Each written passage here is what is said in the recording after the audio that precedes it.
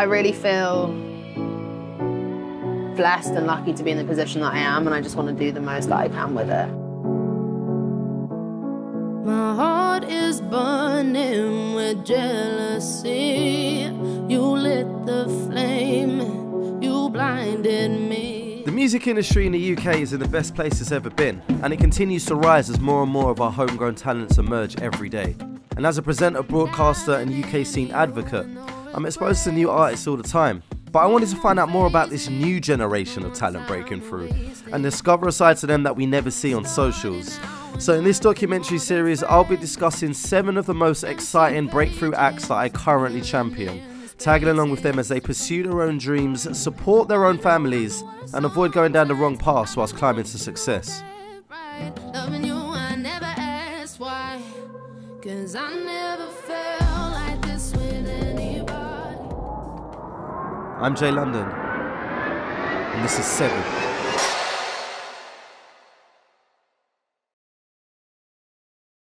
I've not been to Brighton for about 10, 15 A years. long time. When was the last time you actually had a chance to come and sit on a bench and look at the sea? Uh, that I haven't done for I don't even know how long. Like, really? I don't think I've had a chance to do that. Every time I'm in Brighton, it's to like do a show or do a show and then see my mum for a day and then go to London. So like I never really get the chance to do this, but I spent a lot of my like teen years, especially like walking along here and getting an ice cream and like going to sit with my friends and just chilling out. So yeah, I miss it a lot. Now, growing up in London, there's always this stigma attached to like being involved with the wrong things or being around the wrong crowd and stuff mm-hmm. like that. Do you feel like there was the same, I don't know, bad kind of opportunities to get involved in in Brighton I think- there is in London? It's a really interesting question because when I lived in London, I was growing up way too quick. That's the reason we moved here. Got you. was because I was seven, eight when we left, and I was acting as if I was a 12, 13 year old because the things I was seeing and the experiences that I had meant that I was that bit mature. Mm-hmm. And when I moved here, it was like, it was definitely a culture shock in a lot of ways. Like it's, everyone's very sheltered here. Yeah. Not everyone, that's not fair, but it's like, it's definitely a very comfortable upbringing and it's a beautiful place to live and everyone's very friendly. It's a very kind place. Um, I think I was way more at risk when I lived in London, and that was yeah, that was a decision my mum made for us to kind of like move away and have a fresh start. Do you think you would have been any different if you lived in London? Yeah, as I said earlier, I was a super angry kid, and that was not like attractive. Yeah. it was like it was bad, and I had a lot of friends that weren't necessarily the best for me, um, and brought out the worst in me. So I definitely think that I was at risk, and I think anyone that knew me back then would have thought I was at risk of kind of going down a path. I don't think I'd be awful. I just think I would have made some dumb decisions and kind of not taken a step back and reflected on like what I'd been through and like turned it into something good. And I think that's what definitely, as much as I struggled moving to Brighton and it was like different and I didn't know anyone and I didn't really have any friends, so much of my development happened here. As much as I could be like, I love London, it's like a lot of my important years were developed, yeah, it's, it's all happened here. And music, my music especially, definitely had a home here before anywhere else. I was reaching for some other love. I'm sorry for making things so tough. Today will be spent with Grace Carter in her childhood town of Brighton, a place that I had visited a fair few times as a teen, but I never thought I'd return here to learn about one of my favourite artists. I was excited to hear all about her challenges, upbringings, and of course her love for music. So we started at her church, the place that she gained a lot of confidence singing in the choir and discovering herself as a kid. But that wasn't the only big defining moment that sparked her amazing journey today. In bad faith. You told me not to hold hands with the devil. Cause the devil does no good. It was singing was what I loved doing, and then it wasn't until I was 13 where my mum had met my stepdad. And for me, that moment was a pretty hard one. I wasn't into it at all. I, mm. I'd only ever had my mum to myself, and mm-hmm. especially not having both sides of my family. It was like my mum was my Was yours. my rock, That and it was- was like yeah. that's she was mine, no one else. I could mm. not share her. Mm-hmm. He knew all of this stuff, and it's so like so much respect to him because he had a very similar upbringing to me. He grew up mm-hmm. with his mum, and he had a really difficult childhood with his dad, and he saw that in me. And music was his thing that he did that helped him grow through so many situations. He's an artist. So he was like, okay, I know that you're a demon child right now, but here's a guitar, write me a song. And I di- still didn't like him at this point, but I was like, okay, I'm gonna show I'll him I can write. Yeah, I'm gonna show him yeah. I can write a song. I got so much to say, but I can find the voice. I've been thinking about it like I had a choice. All I want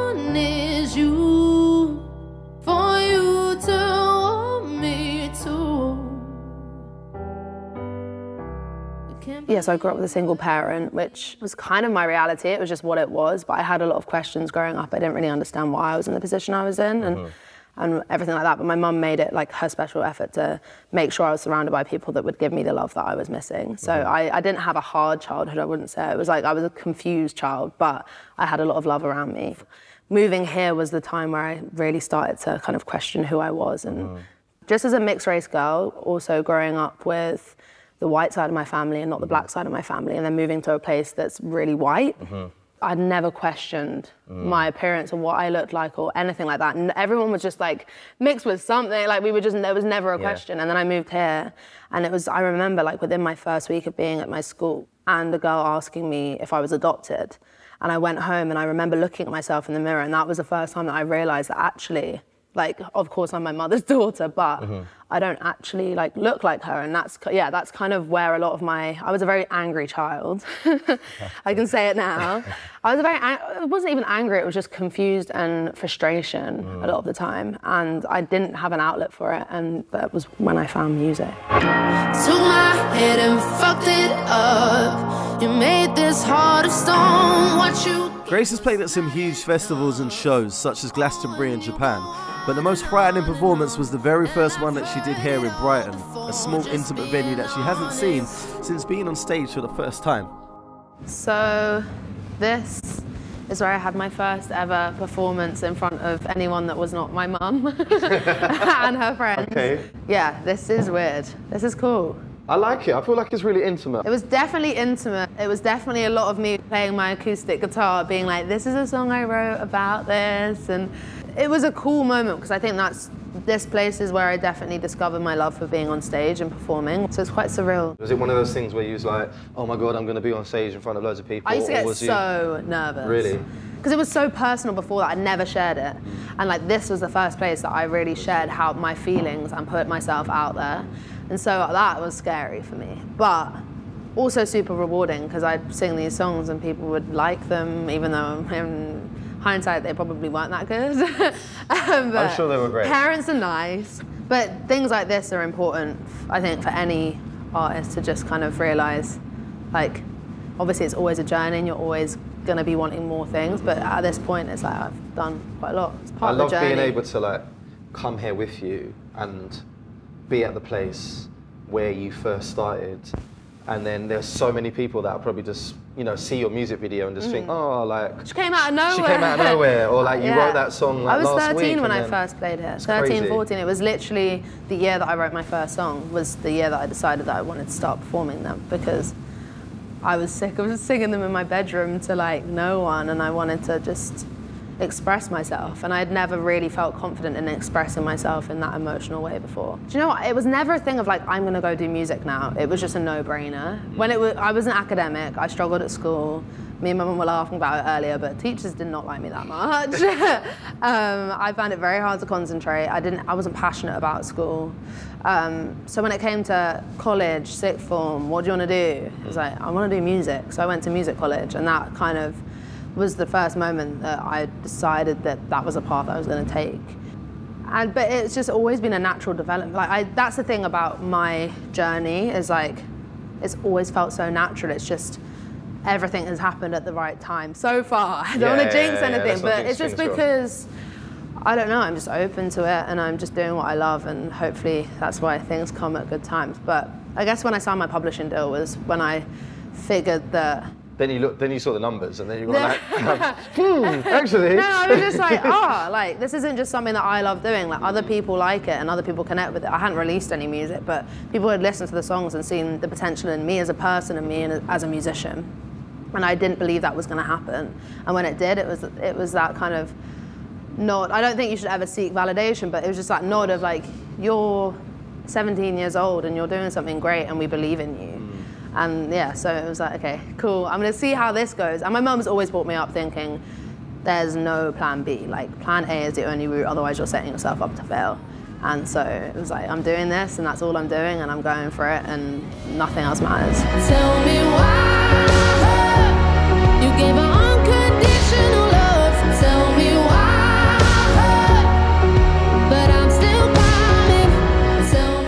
I'm doing this as my job is because it's the one thing that makes me happy.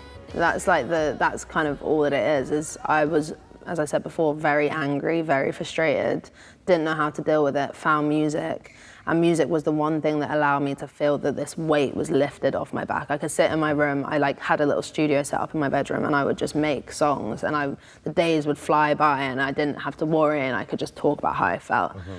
Like I don't necessarily I've never aspired to be like famous, but I've always wanted people or ever since I kind of decided that music was the path I was going to take as my career, it was like I want as many people as possible to connect to my music. Like I want them to know me for my music and that is the only reason. I want to sell out big venues, but because people want to come and hear the songs, yeah. not because they want to know like what I eat for dinner and like Yeah, yeah, what yeah. my favorite color Yeah. is. Like just because they want to share my story and like or their story with me and we can just have a moment. And that's that's how I see all of the shows that I've done on my shows. I've done two of my own tours now and every night it feels like me and my fan and I go out every show as well. Like I don't I hate that feeling of like I'm this and you're you're Yeah, over there and yeah, I'm here. It's like yeah. no we're all people and we've all been through things. And like let's talk about it. Like hi what's your name? Like what have you been through? Like how what have you found in the music? What have you Mm-hmm. connected to in the music? And it's important to me that I keep that and that it's just human to human interaction. And it's like that's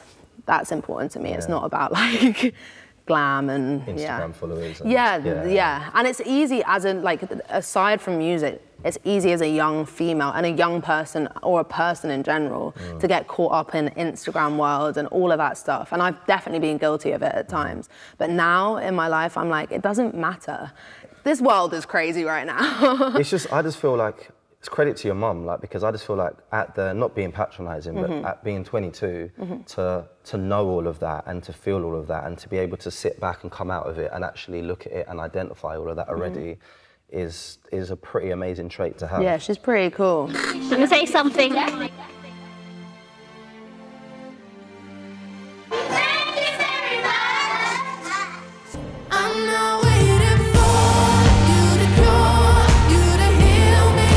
One of the biggest things I admire about Grace is her resilience to turn a painful experience into something positive. Like myself and many others, she was predominantly raised by a single parent, and most of the music that she's made to this point is about the relationship that she didn't have with her father. It's probably the most personal thing that she still battles with to this day, but being a strong person that she is, she feels it's important to share. Something that I found quite interesting and refreshing to learn about you, just the fact of how open you are to speak about like the relationship that you have with your mom and or the relationship that you had with your dad or didn't have with your dad. Mm. And like we said earlier, a lot of people can resonate with it. I was raised by my mum. I think what was different for me is I always still saw my dad. Like he would pop by because he got on with my mum. Yeah. So even to this day, like I'd see him like maybe a couple times a month. Sometimes if we're going on holiday, he'll take us to mm. the airport or, or Yeah, stuff like yeah. that. But there's so many people that have gone through that as well. So I think you're doing credit to yourself and credit to mum by expressing that. Yeah, I think that I've definitely discovered that just through living and talking to people and sharing is that yeah, a lot of people go through what we've both been through, which is a very hard thing. Being a child and being rejected almost, or in my case anyway, it was rejection. It was like, okay, you exist, and acknowledging that for like a hot, a hot minute, and then and then kind of leaving and me being there being like i don't know why this person does not want me. Like that was kind of that was all that i could think as a child is like what have i done wrong that means that they don't want me in their life? Blaming yourself. yeah. That was 100% what it was and that's why i was so angry because i was just trying to figure out what it was the whole time. And I, as i got older obviously i discovered that there was multiple reasons for the position i was in and it was the multiple reasons that I may understand and some that I may never understand, but it was a decision that some people made, and that's that. Um, birthdays, for example, like I don't do birthdays. Like I can't. I try and like put a face on and be like, okay, I'm gonna have a great day today, da da da da. But every year, a birthday to me is a reminder of all the people that aren't there. It's like that's a day that is apparently my day, but on that day I want to have these people here, and, and, and I can't, and I never have. I have had no control over the situation that I'm in or have been in, but I think the one thing I've taken from it is just life happens, and I've tried to make the best mm. of a negative decision that someone made once. I think also a lot of things that happen when you're a child, it's hard to kind of completely like be cold about it and be like, oh, whatever, like that happened. It's not my decision. Like whatever, fuck them. Do you know what I mean? Yeah, I just yeah. like that. I'm, I'm not that person. Even now, within my friendships and the people I surround myself with, I find it very hard. If someone's bad for me, I find it very hard to let go. let go because I hate goodbyes. I hate like saying bye to someone is the scariest thing for me because I genuinely feel because of so many so much of my life was saying bye to people and them not coming back. Like for me, saying bye to people is like a full stop that I'm just so scared of. Yeah, and that was what almost made it a bit harder at points. Was just it was never like a cold like leave. It was always every time. It's like a re- like now I look at it. It is. It's just relationships are relationships, and it, it I can relate it to my life now. But every time I started to get over the situation and overcome it, and Um, yeah. I could speak to whoever I spoke to to like deal with it. Every time I got to a point where I was like, okay, cool, I'm chilling, like I'm good. Mm. It'll come back and leave again, and then I'd just be broken again. And honestly, songwriting for me, and I know I say it so much, but if I hadn't found songwriting, I don't know where my head would be at because I had so much stuff. I had so much negativity running through my head. I had so many things where it was like, I'm not good. Like, if my own parent doesn't want me, like, who's gonna want me? Who's gonna like be that person for me? I just had so many of those feelings that when I started to write things down and really process my situation and weigh up everything, it allowed me to take a step back and look at it and be like, okay, cool. This is life. This has happened, but I'm not defined by it.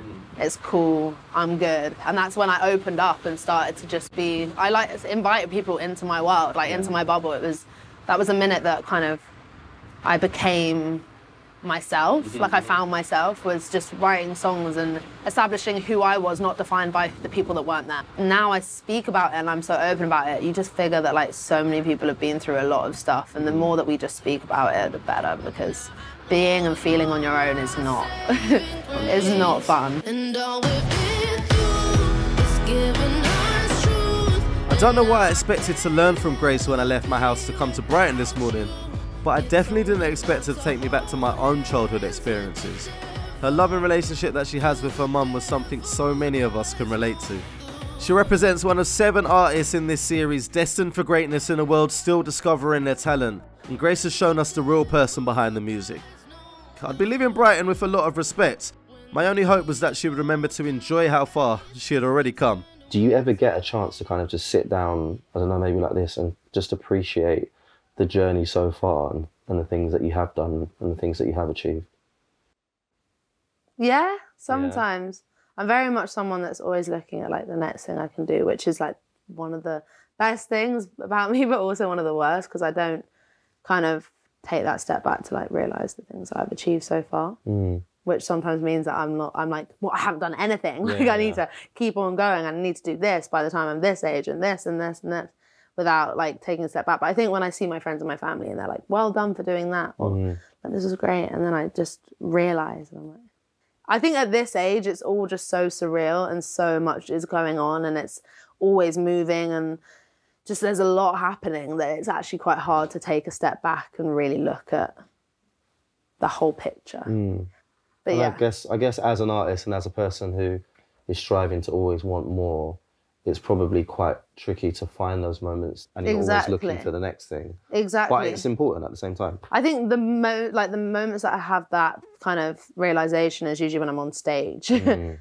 when everyone was like singing the words back at me, that was like a moment for me where I was like, shit, like how did this happen? like how am I allowed to be on this stage and how are these people like how do they How know all the words? words? Yeah. Because also I was I started as a support act. Like I was a support act for as long as I could remember at the beginning and then finally was doing my own shows and it hadn't actually quite sunk in that they these people were in a room to come And see you. and see me and share an evening with me and us connect with each other like that it didn't come together in my head until i think that show was like the moment where it all just made felt real um what would make you content? What stage would you have to be at to be like, "Do you know what? Like, actually, I haven't done that bad. i want to be able to look after the people that have looked after me and got me to this point i think that's mm-hmm. like a really important thing for me like so many people have given so much up to make sure i had it as calm and easy, especially my mum. Mm-hmm. She's basically given her whole life to me over the last 22 years. So I think that's, I want to be able to kind of look after her and, don't know, show her how much I appreciate her. We've done quite a few of these, and when I speak to people, it's always a case of, yeah, I'm gonna, I'm gonna work hard, I'm gonna strive. But when somebody else is in the picture and you haven't got a choice but to strive, then it changes the outlook and things. Yeah. Um, I'm imagining mum's probably a huge. Yeah, part of huge part of that. And also, I don't think I was ever proud of myself growing up. Like, I don't think I ever had like a moment where I was proud of myself for achieving anything because I didn't really achieve anything. I did, but I and then I th- just doing this and making music and doing stuff that I love every day and sharing a lot of myself. I think this is the point in my life now where I can actually say that I'm proud of myself for overcoming so much. I'm definitely in a completely different place to what I was when I was a kid, and it's interesting to just even talk to you today and like think about all those times and mm-hmm. think about the person that I could have been, but then now the person I've become due to like all the people I have surrounding me and all the people that have done nothing but lift me up. It don't hurt like it used to. Took my heart and fucked it up. For that